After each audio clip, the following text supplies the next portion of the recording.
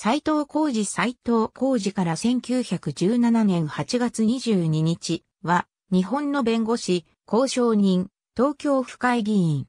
秩父昆民党三家の地球代目、市川團十郎像古賀藩士、斎藤三平の子として、江戸駒込の判定で生まれた。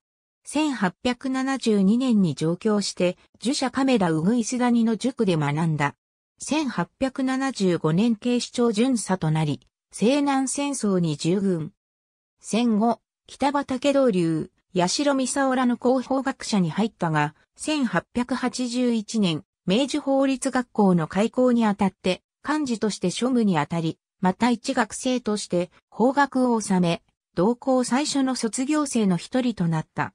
1882年に大元人試験に合格し、秩父事件や野口与三郎事件などで弁護活動に従事。日本弁護士協会の創設に参画し、1898年には副会長となった。1912年に弁護士業を廃業して交渉人となった。地方政界にも進出し、1899年に神田区から東京府会議員選挙に出馬して当選、府会議長も2期務めた。1917年8月22日、議長在任中に胃がんで死去。